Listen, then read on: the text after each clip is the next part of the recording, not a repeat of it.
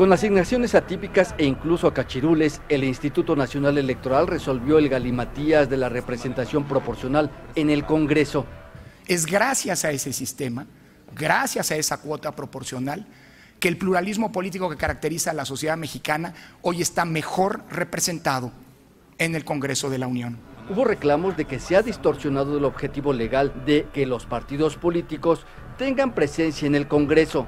Depende de los partidos más votados a quien pusieron en los primeros lugares y entonces pues con seguridad entidades como la Ciudad de México tendrán un peso mayor en cuanto a representación en el Senado que el resto.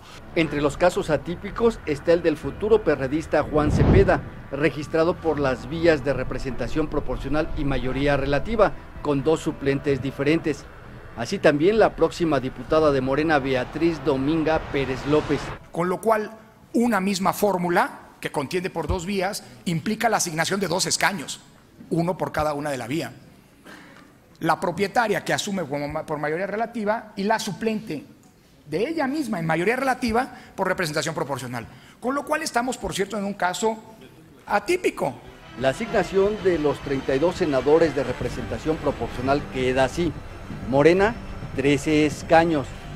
Se incluye a Olga Sánchez Cordero, próxima secretaria de Gobernación, Ricardo Monreal, Napoleón Gómez Urrutia y el expanista Germán Martínez Cáceres, futuro director del IMSS.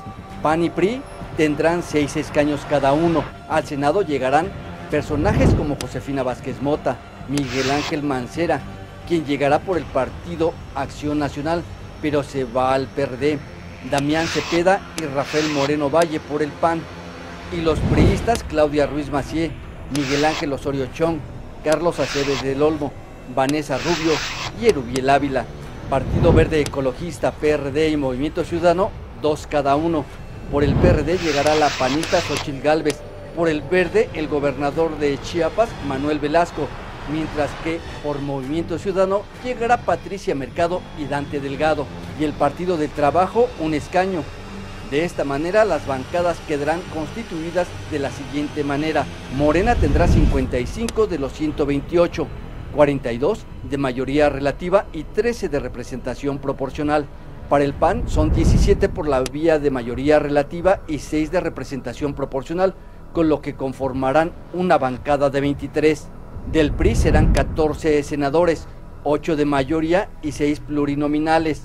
Él suma a su bancada 8 senadores, los de representación proporcional y 6 de mayoría, mientras que PT y Verde Ecologista formarán bancadas en 6 senadores. Del PT, 5 son por mayoría y 1 proporcional y el verde cuatro mayoría y dos plurinominales. Encuentro Social tendrá una bancada de ocho senadores electos en las urnas, mientras que Movimiento Ciudadano sumará siete y cinco de mayoría relativa y dos de representación proporcional.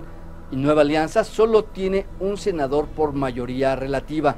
El Instituto Nacional Electoral también distribuyó las 200 curules proporcionales de San Lázaro.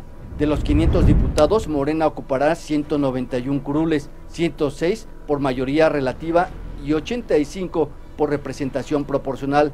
Del PAN serán 81, 40 de mayoría y 41 plurinominales. Del PRI 45, 7 de mayoría y 38 de representación proporcional.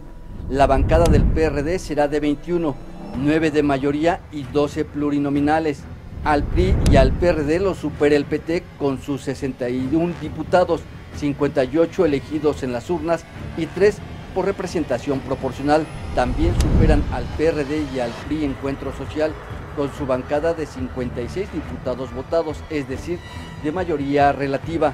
El Verde conformará una bancada de 16 diputados, 5 de mayoría y 11 de representación proporcional. De Movimiento Ciudadano serán 27 legisladores, 17 por mayoría y 10 plurinominales. Nueva Alianza quedó con solo dos diputados que fueron electos en las urnas. En San Lázaro tendrán curul personajes como los panistas Ernesto Rufo y Marco Antonio Adame, los priistas Pedro Pablo Treviño, Rubén Moreira, Dulce María Sauri Riancho, Héctor Yunes, René Juárez Cisneros y Enrique Ochoa. El PRD tendrá a Héctor Serrano, por el verde Carlos Puente, Jorge Emilio González Martínez y Arturo Escobar. Movimiento Ciudadano lleva a Marta Tagle. Y por Morena llegarán a la Cámara Baja Tatiana Cloutier, Porfirio Muñoz Ledo, Gabriela Cuevas y Horacio Duarte, con imágenes de Luis Castro para el financiero Bloomberg, Francisco Rubio.